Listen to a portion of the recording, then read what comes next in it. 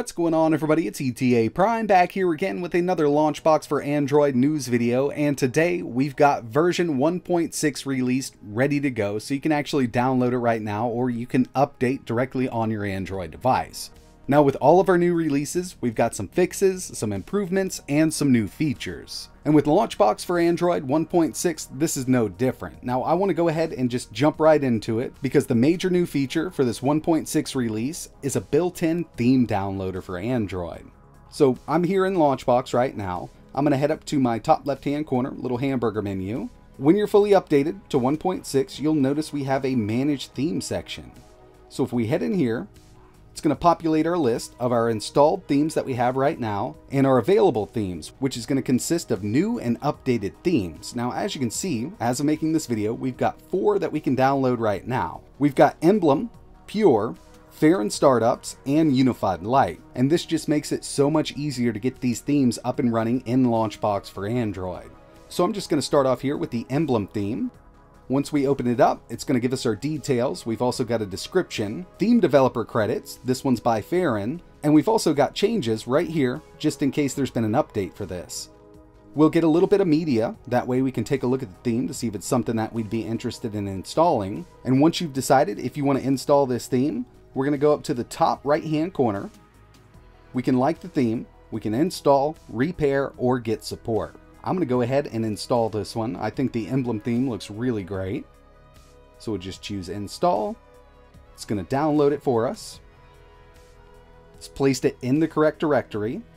And now we have that emblem theme installed. So I'm just going to go with my NES section. So from the top right hand corner, we're going to go to change view. As you can see, I've got a list of all of my installed themes and emblem is listed right here. So there we have it.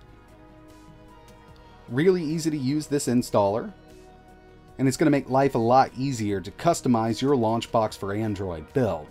Let's go with one more. We're going to head back to the main menu. From the menu, Manage Themes.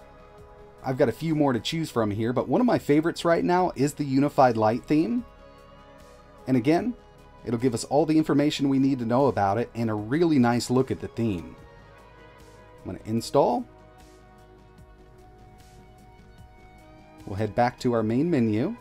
And remember, when it comes to the themes for Launchbox, we can set up a different theme for each platform. I'm going to go with Game Boy here, and we'll set up that Unified Light. From the drop-down, change view, Unified Light, vertical wheel. And yeah, this is one of my favorites right now. I think it looks really good. But this makes it so much easier that way you don't have to use a separate computer or, you know, a file manager on your Android device to get these themes installed on your Launchbox for Android build. So that's definitely the biggest addition for 1.6, but we also have some other changes that I wanted to take a look at. Platform metadata can now be edited by choosing Edit Metadata from the Platform Details menu, and to get there, whether you're using a controller or a touch screen, we're going to long press, Edit Metadata, and now the platform itself can be edited. So before we had no way to do this, but we can edit all of this metadata if we need to. So the title, scrape as, sort title, category. If you needed to do any platform metadata editing, it's now possible in Launchbox for Android. Another thing we've added here is you can now pick and choose which game images to download. So this is actually really cool. Um, I'm gonna head over to, let's say, N64. So obviously I've already got my artwork downloaded for Aero Gauge here, but if I wanted to change this up a little bit, I can long press or long hold on a button depending on if you're using a controller or not, edit media, and we have the ability to pick and choose from box image, clear logo, game title screen image, gameplay screenshots, and background image. So when it comes to the box image, I'm going to go ahead and change this real quick. Browse for new games database image and I'm using the North American image, which is right here. But if we wanted to switch over to the Australian image, German, or even Japan, we can. We'll just go ahead and choose this one. Use as box. And now, we've got that Japanese box art here. So this comes in really handy for customizing all of your platforms.